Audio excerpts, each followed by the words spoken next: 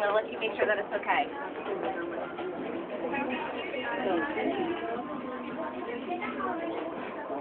How's that look, Mom? Yep. You see it? Mm-hmm. Top one. Get your ear. Can you see the little tiny mark right there?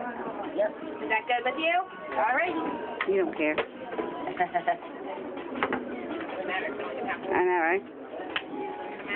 Alright, you want to hold anybody's I can't, yeah, I would. Alright. One, two, three. And you're done. Woo! You done. All ready.